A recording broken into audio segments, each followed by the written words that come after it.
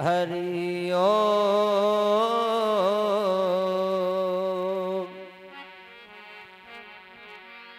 ओम श्री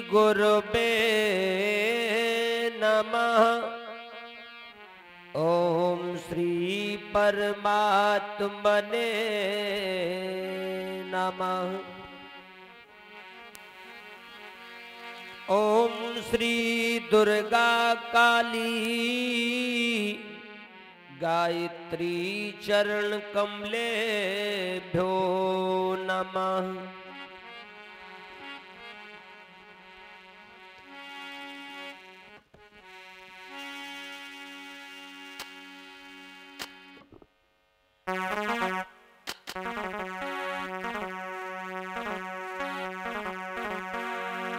ध्यान मूलम गुरुमूर्ति, पूजा मूलम गुरुपदम। मंत्र मूलम गुरु वाक्यम, मोक्ष मूलम गुरु कृपा। नारायण्यम नमस्कृत्यम नरम चैव नरोत्तमं। देवी सरस्वती व्यासं तदो जयमुदीरे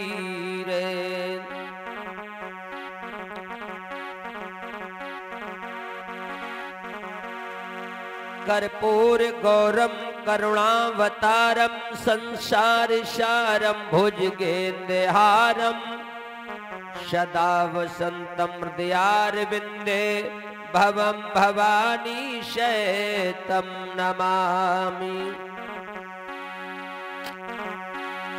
या कुंदे कुन्देन्दु तुषारिहार धविला मैया श्वेतंबर धारी है। बीलांबर दंड सुशोभित है। कमलापति बारी है। ए जी सुंदर स्वर स्वर शरता देना, सातो सुर की रखवाली है। हृदय में धुन झनकार उठे, तेरे चरणों में माँ बलिहारी है।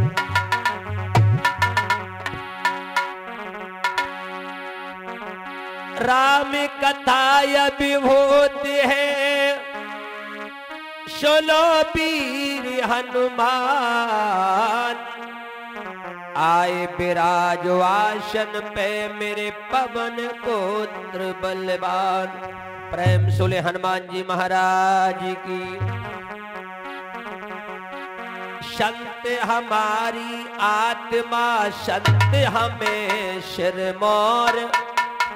सबको सीता राम है सो अपने अपने ठोर वृंदावन के धाम को मरम न जाने को डाल डाल और पात पात पे जय श्री राधे राधे हो। बोले गोविंद भगवान की। आइए। भगवान के चरणों में दो शब्द रूपी सुमन समर्पित है। भगवान को वेदों में माता भी बताया है और पिता भी बताया है।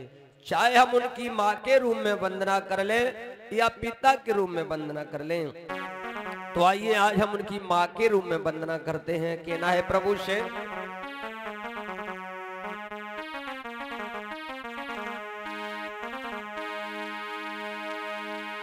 अरे मेरी मैया अरे मेरी मैया के भूलो ज्ञान बताए जा अरे महारानी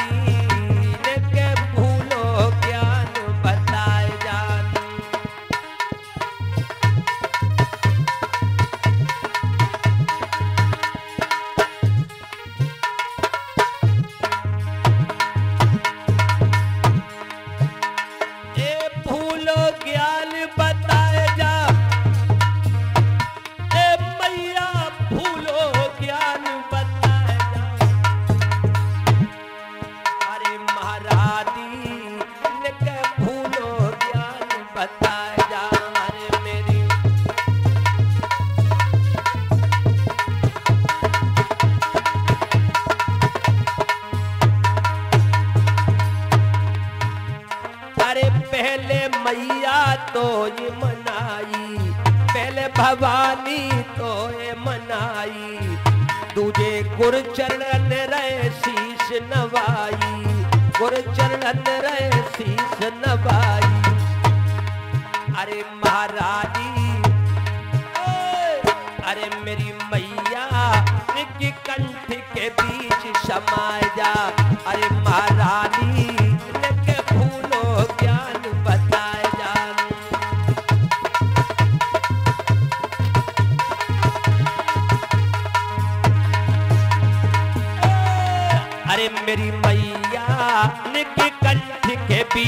समाया। अरे महारानी भूलो ज्ञान बताए जाओ।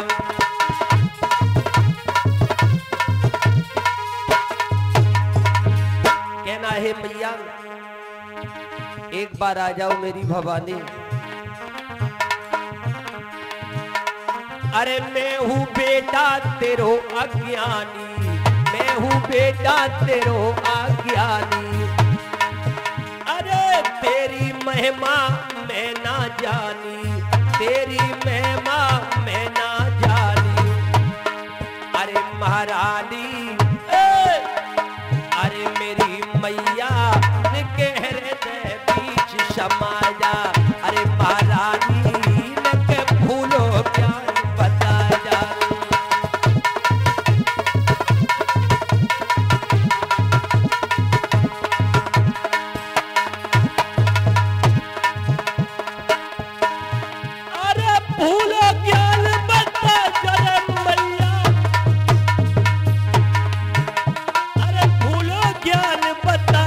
भवानी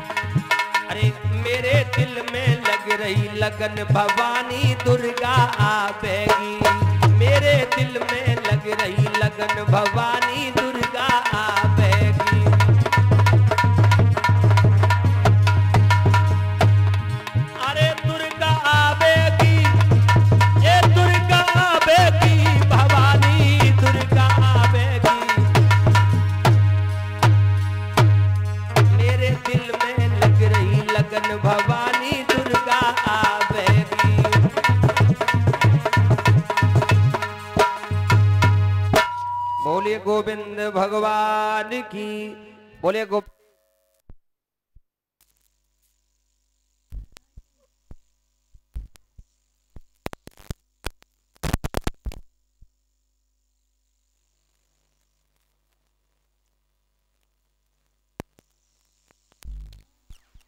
हेलो। बोले भागवत महापुराण की बोले संत समाज की। भाई, सर्दी की वजह से मैं जयकारा बोलने भी करंट कम बन रहा है। ऐसा ना करो थोड़ी थोड़ी ताकत लगाओ। देखो, जयकारा यदि लगाओगे तो शरीर में गर्माहट आएगी, सर्दी ना लगेगी, ठीक है? हाँ। और बड़े प्रेम से, ज़ोर से जयकारा भगवान का लगाए ताकि उस परमात्मा के कानों तक की आवाज़ पहुँच सके कि मेरे भक्तगण मेरे नाम का जयकारा लगा रहे। बोले, लक्ष्मी नारायण भगवान की, बोले, सिद्ध महाराज की, बोले, तैतीस करोड़ देवी देवतन की, जय जय श्री राधे। कऊ कऊ ने तो हाथ ऊपर ना करे। हमें लग रहा है ऐसा तो नहीं है कि कोई ऊपर हाथ पकड़ लेता हो। अब की बार ऊपर को हाथ करो। अगर कोई पकड़ ले तो हम चाहे कितनी बार कहे, उठाइयो ना। और न पकड़े तो बार बार उठाइयो। अंजवाइश कर ले की बार। बोले, जय जय श्री राधे श्याम। पकड़े तो ना काऊ ने कोई पकड़वे वालू नहीं है। बगैर परमात्मा के, है? मुद मंगलमय, संत समाज प्रातः स्मरणीय अर्चनीय वंदनीय परम श्रद्धे। गुरुदेव जी के चरणों में नमन करने के उपरांत अनंत बलवंत संत श्रोमणी हमारे पूज हनुमान जी महाराज, गुप्तेश्वर महाराज उनके चरणों में साष्टांग नमन करते हुए आज इस गुप्तेश्वर धाम में हमारे विराजमान सभी धर्म प्रेमी भक्तजन माताएँ बहनाएँ, पिता तुल बुज़ुर्ग बेटिया, नौजवान भैया, ननिहाल बच्चे, इस व्यास पीठ से मैं सभी को नमन करता हूँ और आज इस कथा का पंचम दिवस है। वैसे चौथे दिन मानो क्योंकि कल का दिन तो बेकार ही चला गया। भगवान भूतेश्वर इतने प्रसन्न हो गए कि कल उन्होंने मौका ही नहीं दिया कथा कहने का। कोई बात नहीं, अब आज चौथा ही दिन, समझिए। भगवत प्रेमियों, सभी हमारे भक्तगण भगवान के पावन दरबार में विराजमान हैं। भोलेनाथ के पावन चरणों में बैठ करके प्रभु की पावन कथा श्रवण करने के लिए उपस्थित हैं। भगवत प्रेमी हो ये बड़ा ही धन गाँव कफार क्षेत्र, जहाँ भगवान की पावन कथा है। इस भगवान के दरबार में तैतीस करोड़ देवी देवताओं का भगवत पर स्थान है। और हमारे पंडाल में आप भी देवी देवता के रूप में ही भगवान की कथा श्रवण करने के लिए आए, क्योंकि नीम सार में देवता भी छुप छुप के भगवान की कथा श्रवण करने के लिए जाते थे। तो यहाँ भी भगवान की कथा श्रवण करने के लिए हमारे सभी देवी देवता विराजमान हैं। मेरे भगवत प्रेमियों, संत तुलसीदास जी कहते कि कर से कर्म करो विदनाना ध्यान रहो जा कृपा निधाना। कर्म करते रहो, लेकिन ध्यान भगवान के चरणों में होना चाहिए। जिसने राम के चरणों को लक्ष्य बना लिया। लक्ष्य मने होता है निशाना। और यदि निशाना आपने राम के चरणों का बना लिया, उसी का नाम है लक्ष्मण। क्योंकि लक्ष्मण भगवान राम के चरणों के सेवक थे, प्रभु की सेवा किया करते थे तो जो राम के चरणों का जिसने लक्ष्य बना लिया मेरे भगवत प्रेमियों, वही तो लक्ष्मण है। मेरे भक्तों, भगवान की कथाएँ वो हैं जो मनुष्य को आत्मा में शांति प्रदान करने वाली, मनुष्य को इस भवसागर से पार करने वाली। मेरे भगवत प्रेमियों, भगवान कहते हैं, गीता में है अर्जुन, अरे तू सभी कर्म और धर्म का त्याग करके एक मेरी सरल में आ जा। मैंने तेरी जीवन की जीवन की प्रवृत्ति को न बदल दू तो मेरा मुझसे कहना। मेरे भगवत प्रेमियों, भगवान के लिए यदि आप एक डग बढ़ जाए तो परमात्मा आपके लिए साठ डग बढ़ जाता है। मेरे भगवत प्रेमियों, श्री हरिहर गंगा के किनारे बैठे हुए व्यास पुत्र, श्री सुखदेव भगवान उत्तरानंदन परीक्षित लाल को भगवान की पावन कथाओं को श्रवण करा रहे हैं। आज राजा परीक्षित बड़े ही मन को एकाग्र करके और भगवान की पावन कथाओं को श्रवण कर रहे हैं। भगवत प्रेमियों मन को बस में करना हर किसी के बस की बात नहीं है। जिसने अपने मन को बस में कर लिया, उसे उसका मार्ग बहुत सुलभ हो गया। क्योंकि मन इतना बड़ा बेईमान है शायद कि जहाँ पे भगवान की कथा हुए, वहाँ हो सकता है मन लगे ही ना है। और मन कितनी गति किसी की हवा की भी नहीं है। मेरे भगवत प्रेमियों, मन का तुरंत दिल्ली चलो जाए, तुरंत का शिवपुरी चलो जाए, और तुरंत का कहीं भी चला जाए। मन की कोई गति किसी नहीं ना अपनाई, लेकिन इसको बस में करना हर किसी के बस की बात नहीं है। क्योंकि भगवत प्रेमियों लिखा है कि कर लक्ष्मण का जो तू साथ ले। कर लक्ष्मण का जो तू साथ ले। तो श्री राम भी मिलेंगे और भोलेनाथ भी मिलेंगे, हनुमान भी मिलेंगे। मन से नमन करो, हे प्रभु का भजन करो।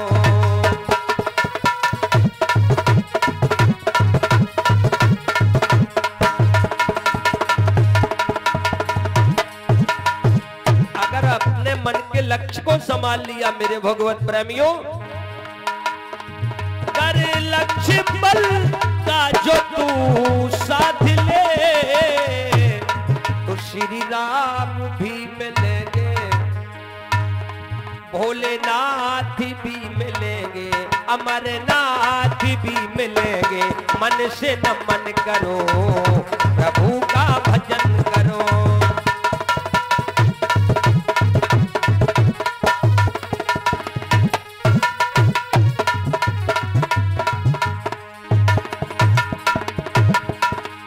मन से नमन करो और प्रभु का भजन करो।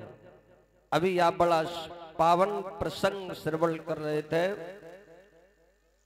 एक पाँच वर्ष के बालक ने भजन करके और परमात्मा को पा लिया। धन्य वो माँ सुनीति जो ऐसे पुत्र को जिसने जन्म दिया और उसने ऐसा आशीर्वाद दिया कि उस पुत्र ने बचपन में ही परमात्मा को पा लिया। मेरे भगवत प्रेमियों, मैया जन्मे भक्त जन के दाता के सूर, और नहीं तो तू बांझ रहे वृथा गमावे नूर।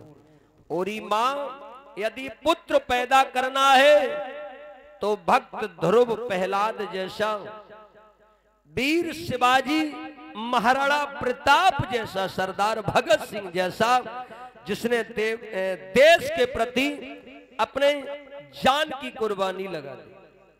और यह दाता महात्मा ददीच जैसा जिसने देवताओं के हित में अपना पूरा शरीर ने उछार कर दिया। नहीं तो तू बांझ रहे और माँ अगर ऐसे पुत्र को तू जन्म नहीं दे सकती तो तू बांझ रहे तो ही अच्छा है। माँ चाहे अपने पुत्र को कायर बना दे, क्योंकि संतान का प्रथम गुरु बताया है माँ। माँ जैसा संसार में कोई गुरु ही नज़र नहीं मैंने देखा है। कि माँ जैसा गुरु ही नहीं मिला मेरे भगवत प्रेमियों, क्योंकि संतान का प्रथम गुरु होती है माँ। माँ अपने चाहे पुत्र को कायर बना दे माँ चाहे अपने पुत्र को बलवान बना दे, माँ चाहे अपने पुत्र को मूर्ख बना दे, और माँ चाहे अपने पुत्र को विद्वान बना दे।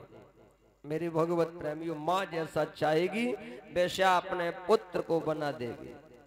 मेरे भगवत प्रेमियों, धन्य माँ सुनीति, और उस माँ की कोक धन हो जाती है, जिसकी कोक से ऐसा बेटा जन्म लेता है। पुत्रवती जुवती जग सोई, रघुपत भगत जास सुत होई। अरे उस माँ की कोक धन है, मेरे भगवत प्रेमियों।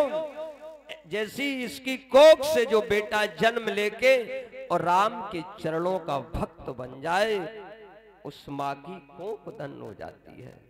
मेरे भगवत प्रेमियों, संतान यदि अच्छी प्राप्त करनी है तो पहले अपने संस्कारों को संभालो। उधर में यदि बालक है तो उस माँ को झूठ नहीं बोलना चाहिए। अगर वो नारी झूठ बोलती है तो असल उरही का माहिल पैदा होगा। याद रख लेना। गर्भवती नारी को गीता रामायण भागवत का ही अध्ययन करना चाहिए, जो आगे आपका पुत्र विद्वान बने।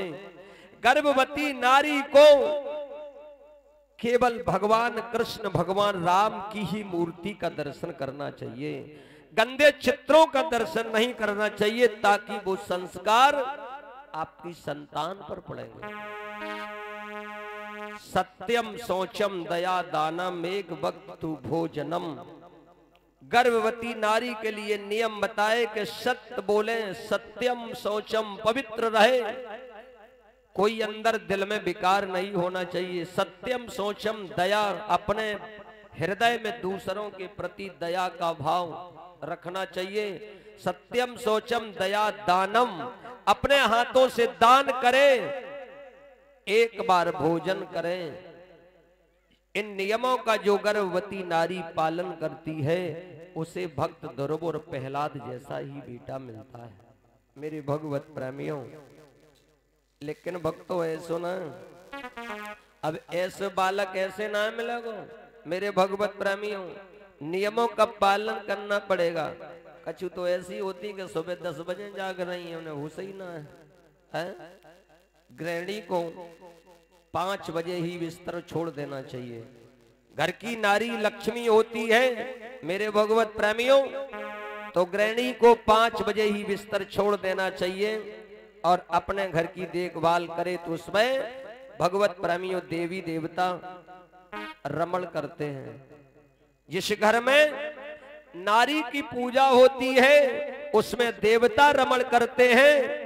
और मेरे भगवत में जिस घर में नारी को सताया जाता है जिस घर में नारी रोती है उस घर से लक्ष्मी किनारा कर जाती है, है? मेरे भगवत प्रेमियों, बहुत नियमों का पालन करना है, गृहिणी को तब गृहस्थी चल सकती है तो वो धन्य माँ सुनी थी लेकिन भक्तों बताएँ, आज के युग में मम्मी पापा की सेवा कब तक होती है? जब तक लला की शादी न हो तब तक। और लला की शादी है गई मम्मी ने खूब रुपए खर्च किए, लला ने हाई स्कूल पास नहीं कर पाई। कभी दसों हज़ार रुपए खर्च कर दिए, बीसों हज़ार, लेकिन हाई स्कूल पास नहीं कर पाई और लला की शादी करवा दी और जो घूंघट वालो आचारी चलवा, वो इतना पढ़ा लिखा आता, इतना पढ़ा लिखा आता है कि एक ही रात में ऐसी ऐसी डिग्री दे देता है कि लला कभी फेल नहीं हो सकते। कभी भी। और मम्मी ने पढ़ाया तो हाई स्कूल नहीं पास कर पाई और वो पढ़ा लिखा आचार्य आया तो भगवत प्रेमी आते ही आते वन की यहाँ बैठो तो श्रीमान जी यहीं बैठ गए। माँ नहीं कहेगी यहाँ बैठो, माँ नहीं कही, बेटा धूप में बैठो। अगर श्रीमती जी ने कह दी तो कहो, धूप ही में बैठे है? जिसने जन्म दिया बाकी बात नहीं मानी जाए। जो आजकल चली आई, पूरा अपना हुक्म जमाने लगी, पूरा।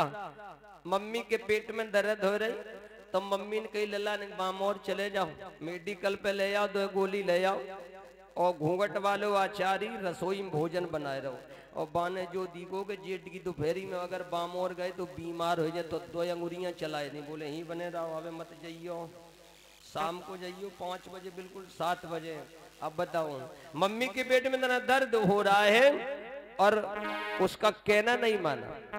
लेकिन याद रखना मेरे भगवत प्रेमियों, जो पुत्र माता पिता की सेवा नहीं करते हैं, वो पुत्र जन्म भर रोते हैं और भगवान का ऋण चुक सकता है, पर माँ बाप से ओरण न होते हैं। चाहे बेटा कितनी भी जीवन भर माँ की सेवा करे लेकिन माँ के दूध से कभी पुत्र ओरण नहीं हो सकता है, मेरे भगवत प्रेमियों। कभी भी है लेकिन आजकल के लोग नारियों के चक्कर में पड़ करके और माता पिता का घर से धक्के मार के निकाल देते हैं, वो समय आज का चल रहा है। मेरे भगवत प्रेमियों, अगर इस कथा को आपने सुना है कि माँ सुनीति ने भक्त ध्रुव जैसे पुत्र को जन्म दिया, अपनी कोक धन कर ली मेरे भगवत प्रेमियों। वो धन है माँ सुनीति। इधर, अभी आपने सुना कि सभी को दर्शन करा दिए ध्रुव ने मेरे भगवत प्रेमियों, और भगवान ने ध्रुव को वरदान दिया कि तुम जाओ, ध्रुव तारा के नाम से जाने जाओगे। और तुम्हारी शब्द ऋषि सेवा में रहेंगे, सात ऋषि तुम्हारी सेवा करेंगे और इस ध्रुव तारा के अंदर दो गुण बहुत अच्छे छिपे हुए हैं। एक तो ध्रुव तारा हमेशा उत्तर दिशा में निकलता है और एक ध्रुव तारा में ये गुण छिपा हुआ है कि पहले के संत ऋषि योगी ब्रह्मचारी जिन्हें ध्रुव तारा का ज्ञान था। और समय आने पर छह महीने ध्रुव तारा पहले उन्हें दिखाना बंद हो जाता था तो वो समझ जाते थे कि अब हम शरीर छोड़ने वाले हैं। ये ध्रुव तारा में गुण छिपा हुआ है। आप प्रैक्टिकल करके देख ले, जो ध्रुव तारा के नित्य दर्शन करता है, और समय आने पर छह महीने पहले ध्रुव तारा उसे दिखाना बंद हो जाता है तो उसे ये अवगत हो जाता है कि अब मेरा समय नज़दीक आ चुका है। जो नित्य दर्शन करता है, ये ध्रुव तारा में अच्छा गुण छिपा हुआ है। बोले, गोविंद भगवान की हा भक्तों, अभी आगे आप जो प्रसंग श्रवण कर रहे थे, हम उसी से जुड़ेंगे। इसके पहले एक सभी भक्त भगवान का संकीर्तन बोले, तालियाँ बजा के मन और बाणी चित्र पवित्र करने के लिए एक सभी भगवान को संकीर्तन बोलो।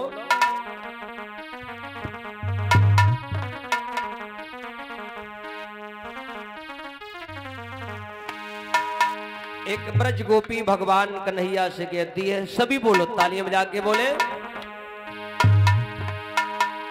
के ठंडे ठंडे में ले चलियो घन श्याम बनूँगी तेरी जोगिनिया।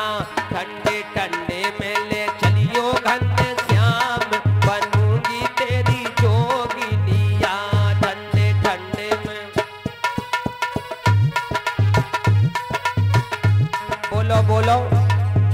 सभी बोलो, देखो आनंद नहीं आ रहा, तालियाँ बजा के बोलो। सभी बोले।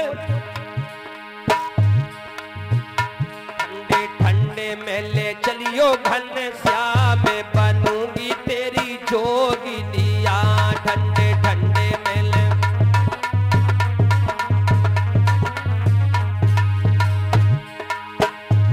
अरे माथे की बिदिया काना संग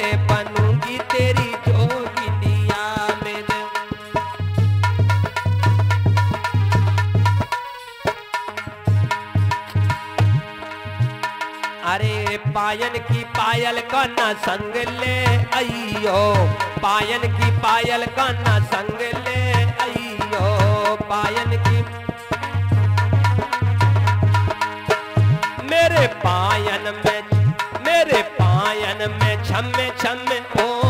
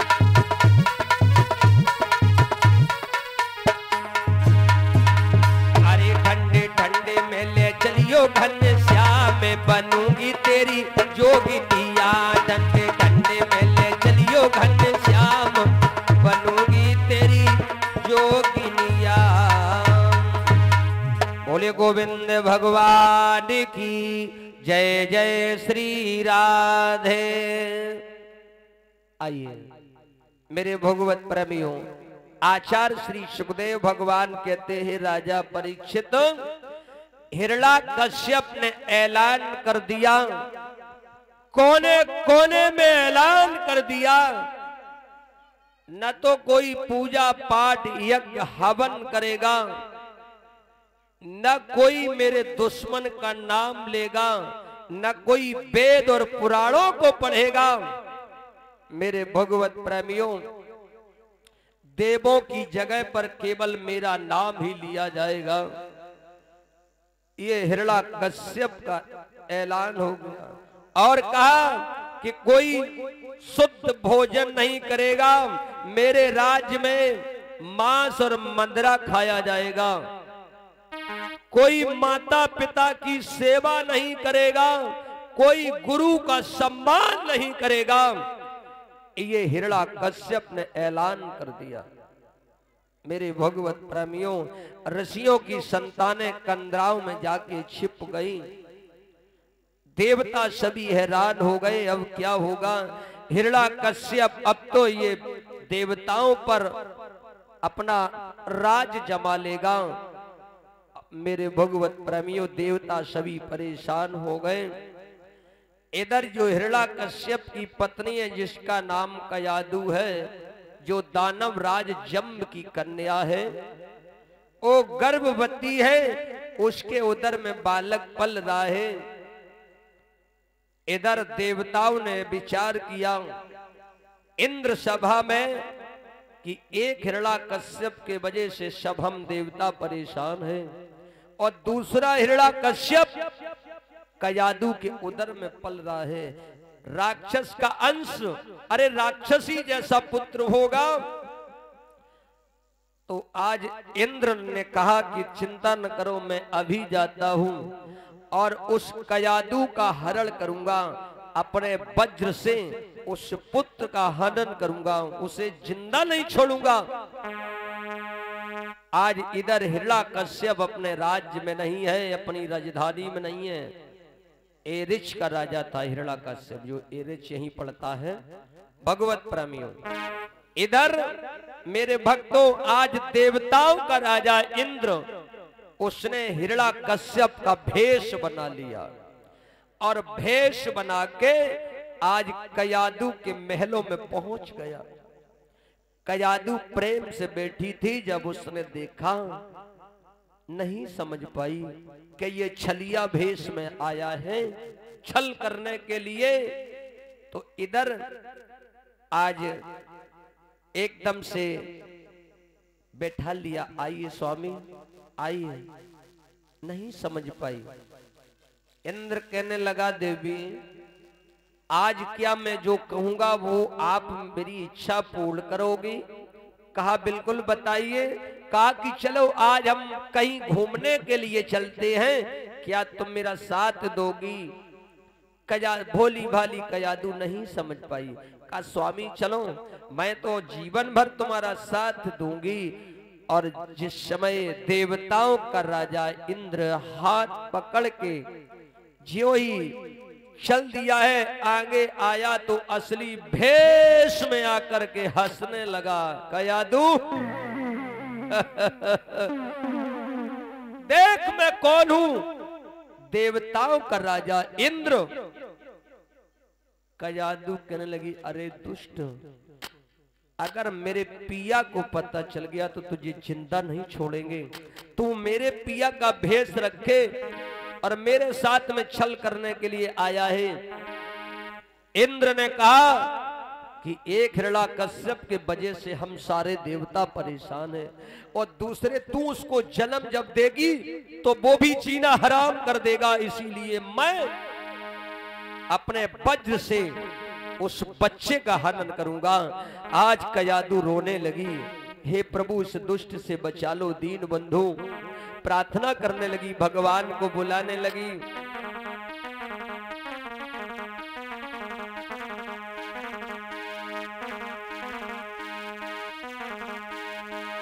ओ दिल बल्द भगवान। अरे पिशर गो, ध्यान लाज गई मेरी। और दीनन के दीना नाथ रे लगाइयो ने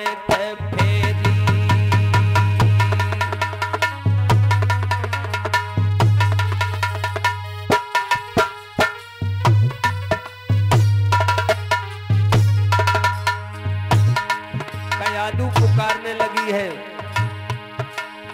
और जैसे कपला गाय पलिया में आए, सिंह ने घेरी, सिंह ने घेरी। अब तैसे दीनानाथ दशा भई मेरी। अब तैसे दीनानाथ दशा भई मेरी।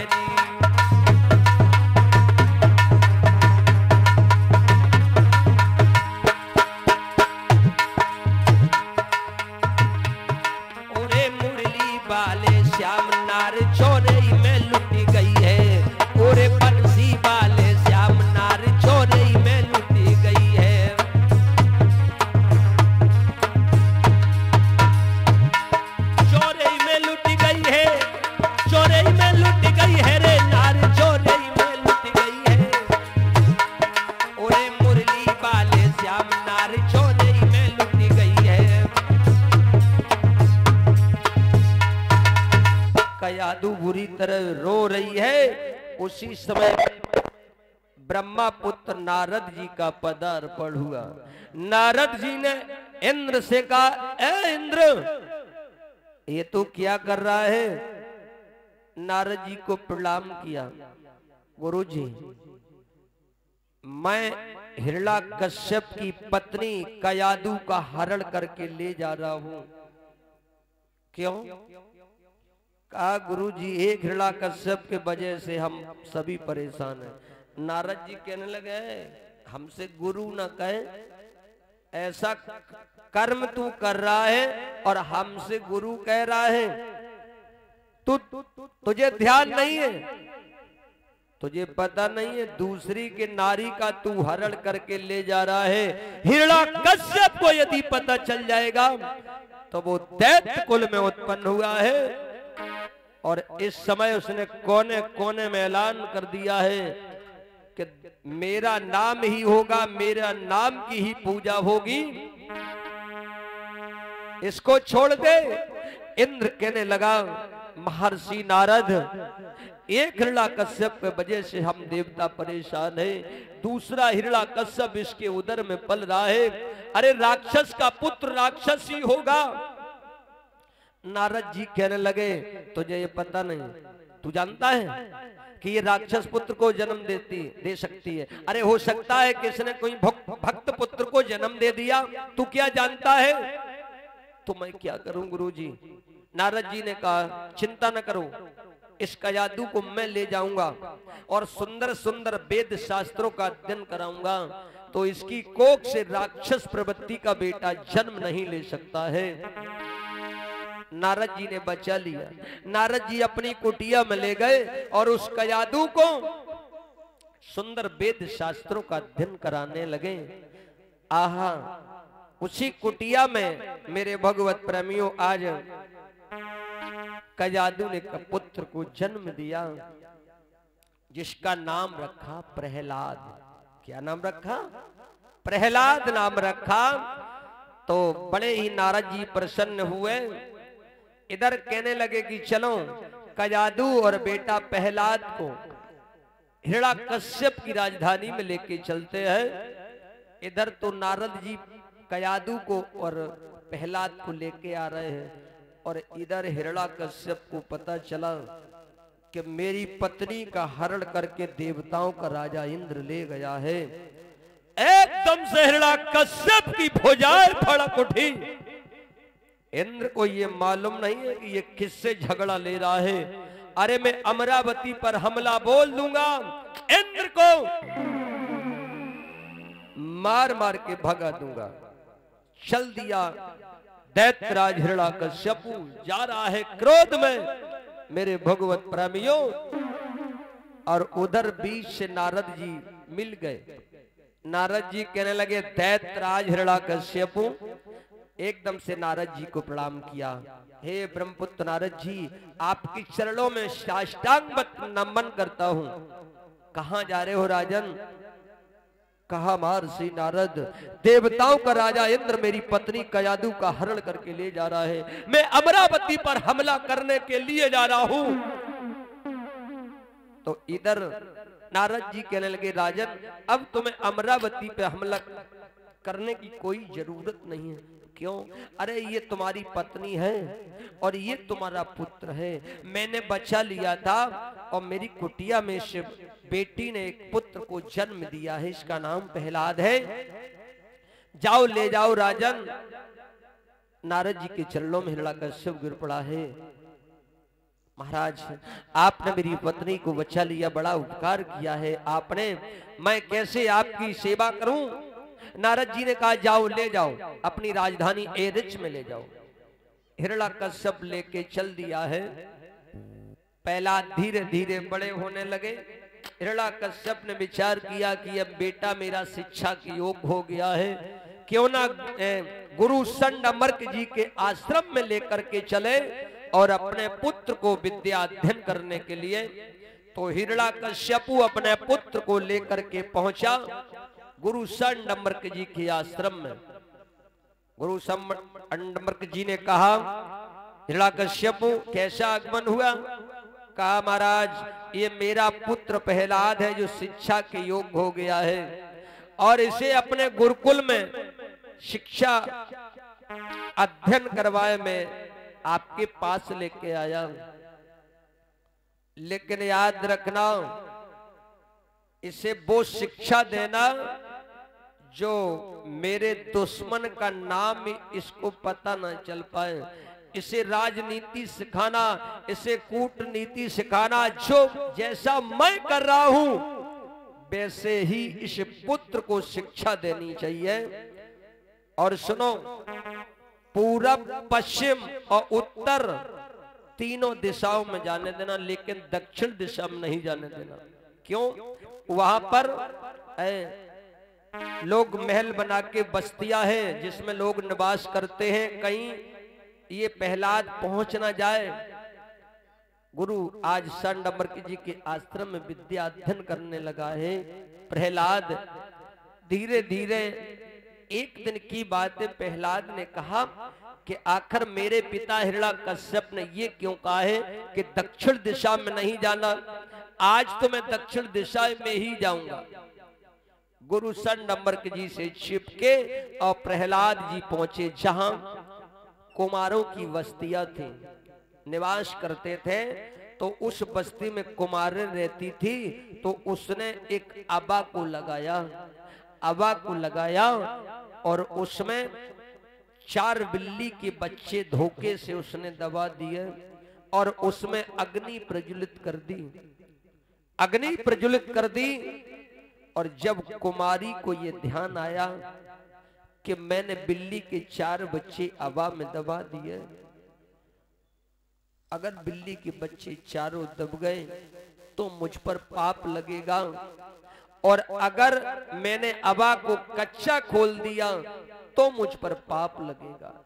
आज कुमारी बैठ के रोने लगी, प्रभु को याद करने लगी, राम राम बुढ़िया कह रही है इधर प्रहलाद जी का आगमन हुआ। और प्रहलाद जी ने कहा है बुढ़िया, ये किसका नाम ले रही है? किसका नाम ले रही है? मेरे पिता का नाम छोड़ करके मेरे बैरी का नाम ले रही है। अरे राम तो मेरे पिता है, भगवान तो मेरे पिता है।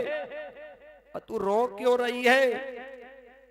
कहा, बेटा तेरे पिता राम कभी नहीं हो सकते कभी भगवान नहीं हो सकते हैं। अरे भगवान तो दूसरा ही है, है? जिसका न कोई आकार है न कभी किसी को दिखाता है वही है पूर्ण ब्रह्म परमात्मा। चौपाई दी है कि सेव विरंश विष्णु भगवाना और उपजई ते अंश ते नाना। जिसके अंश से अनेकों ब्रह्मा, विष्णु, महेश जिनको जन्म दिया हो, वही तो है पूर्ण ब्रह्म परमात्मा। चिदानंद जो जिसका कोई आकार नहीं है, ना वो कभी जन्म लेता है, ना वो कभी मरता है। मेरे भगवत प्रेमियों, वही तो पूर्ण है। मेरे भगवत प्रेमियों, आज बुढ़िया नाम ले रही है तो पहलाद कहने लगे इस अबा में तूने बिल्ली के बच्चे चार दबा दिए और अग्नि जल रही है। हाँ बेटा, और मैं उन्हीं का नाम ले रही हूँ। वे बड़े दयालु हैं, बड़े कृपालु हैं। उनका नाम लेने से बड़े ऋषि मुनि योगी तर गए। जिनकी कृपा से कौरव पांडव जैसी संतानें उत्पन्न हुई। है मैं उन्हीं का नाम ले रही हूँ। शायद है कि बिल्ली के बच्चे चारों बच जाएँगे। पहलाद कहने लगे बुढ़िया तू क्या पागल हो गई है? मेरे पिता का नाम ले तो हो सकता है कि बिल्ली के बच्चे बच जाए। पहलाद नहीं जान रहा है। आज बुढ़िया कहने लगी बेटा तू क्यों बातों में मुझे फंसा रहा है? अरे राम तो बेटा कोई दूसरा है। आहा आज इधर। तो प्रहलाद ने कहा, ठीक है, अभी तो नहीं, सुबह मैं आऊँगा, मेरे सामने आवा को खोलना। यदि कि बिल्ली के बच्चे चारों साबित बच गए तो मैं तेरा दास बन जाऊँगा। और यदि बिल्ली के बच्चे चारों जल गए तो मैं तुझे सूली पे चढ़वा दूँगा। पहला जी कह के चले गए। आज बुढ़िया बैठ गई हवा के पास में और रोने लगी, हे प्रभु, हे दीन बंधु अगर बिल्ली के बच्चे चारों नहीं बचे तो मुझे सूली पे चढ़वा देगा। आज वो बुढ़िया रो रही है और कहने लगी है,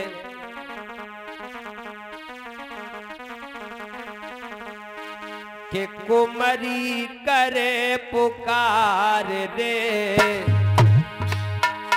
मेरी तेर सुनो कर तार रे। धोखे से दब गए अबा में, बिल्ली के सुत चार रे।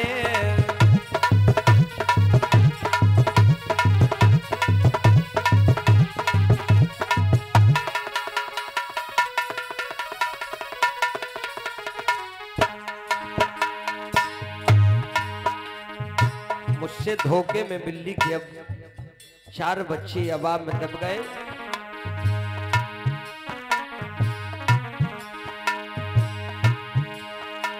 और हाथ जोड़ के रोबल लागी।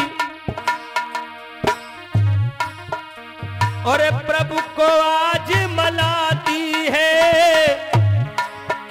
और पहला दिन मुझे सूली पे चढ़ावे, रोर प्रभु को बुलाती है। चरण कमल बलहार रे, मेरी तेरे सुनो करतार रे। धोखे से दब गए अबा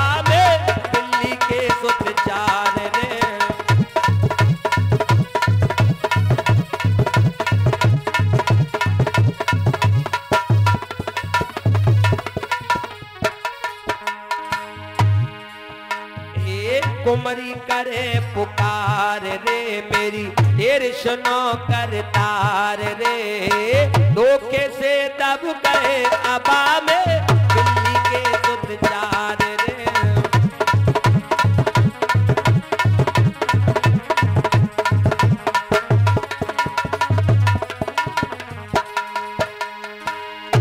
इधर मेरे भगवत प्रेमियों, आज सारी रात हो गई कुमारी को भगवान का ध्यान करती करती सुबह हुआ तो जब सुबह हुआ तो प्रहलाद जी पुनः बुढ़िया के सामने आ गए और कहा, ए बुढ़िया, इस आबा को खोल, देखे तेरे बिल्ली के बच्चे कैसे बचते हैं? तो आज भगवान का ध्यान करती हुई और बुढ़िया उस आबा को खोलने लगी है। मेरे भगवत प्रेमियों के घट उठते ही, घट पलट गया। घट घटती हुए फुलवारी के, घट घट बासी की माया से ज़िंदा रे बाल मझारी के। और मेरी भगवत प्रेमियों जो ही भगवान का ध्यान करती हुई उस बुढ़िया ने अबा को खोला। तो पूरा ही अबा पका हुआ निकला और चारों बिल्ली के बच्चे एकदम से निकल पड़े। जब ये प्रहलाद जी ने दृश्य देखा, मेरे भगवत प्रेमियों, आज चरणों में प्रहलाद जी गिर पड़े माँ। आज मुझे ये अवगत हुआ कि राम तो कोई दूसरा है। मैं तो अपने पिता को ही राम जानता था। माँ, तूने किस नाम से बिल्ली के बच्चे चारों बचा लिए? अरे, जिस अग्नि से लोहा भी भस्म हो जाता है, और उस अग्नि से मासूम बच्चे साबित बच गए। हे माँ, तूने ऐसी कौन सी तपस्या की? ऐसा कौन सा मंत्र है? तेरे पास में वो मैया मुझे भी दे दे। चरणों में गिर पड़े प्रहलाद जी। बुढ़िया कहने लगी बेटा तुम्हारे आँखों पर अज्ञान का पर्दा था। तुम तो ये जानते थे कि राम तो मे, मेरा ही पिता है। लेकिन बेटा राम तो कोई दूसरा है। अरे राम राम से ही मैंने बिल्ली के बच्चों को बचा लिया है। तुम्हें बेटा पता नहीं है तुम्हारे अंदर ही अज्ञान रूपी पर्दे लगे हुए हैं, पल्ले लगे हुए हैं। आहा, आज वो बुढ़िया कहने लगी, सुनो बेटा,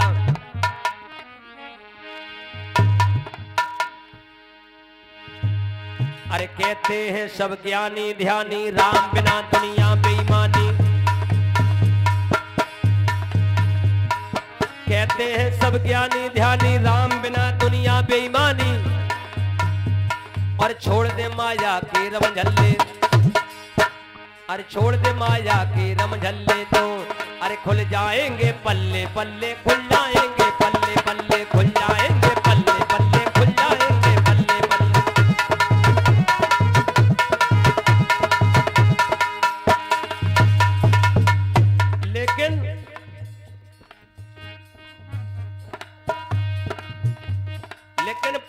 पल्ले कैसे खुलेंगे? ऐसे नहीं खुलेंगे भगवत प्रेमी लिखा है जय राम, सिया राम सिया राम सिया राम, जय राम, सिया राम सिया राम, सिया। जब अपने मुख से उच्चारण करोगे, राम सिया राम सिया, तभी पल्ले खुलने वाले हैं। और कन्नी और वसूला छूटे, छूट जाए सब अल्लम जल्ले। सभी देखते रह जाएँगे टोला वाले और मोहल्ले। राम नाम की गट्टी से तू अपनी काया को फिर मल्ले। गट्टी काय की हो राम नाम की? अब राम नाम की गट्टी आप ये न समझियो कि कहीं दुकान पे मिल जाए। दुकान पे अगर कहे कि वो भैया राम नाम की गट्टी दे दे तो वो कहा के पागल है राम नाम की गट्टी यहाँ नहीं मिलती है।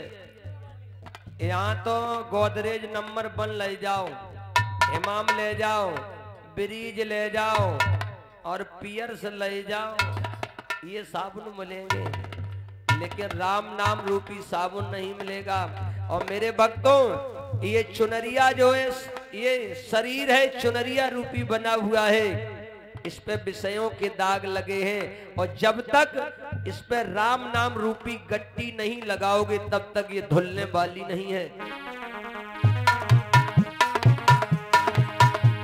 अरे राम नाम की गट्टी से तू अपनी काया को फिर मल ले तो अरे धुल जाएँगे पल्ले पल्ले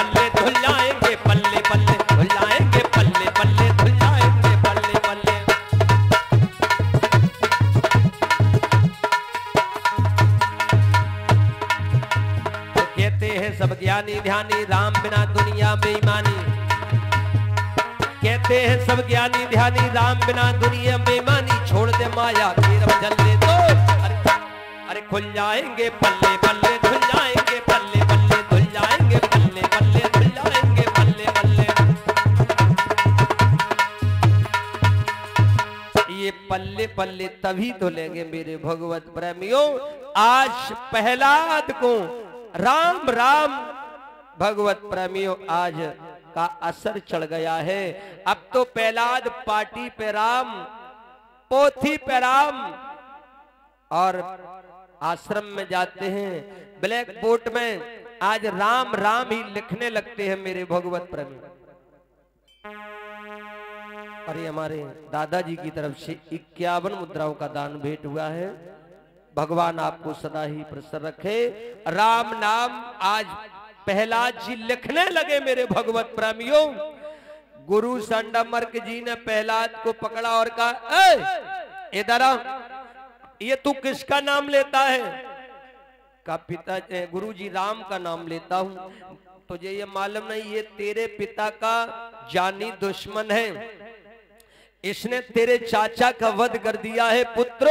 अगर ये नाम लेना छोड़ दे बेटा अगर तेरे पिता को ये पता चल गया तो तुझे मारेगा, साथ में मुझे भी मारेगा। इसलिए बेटा, ये नाम लेना छोड़ दे।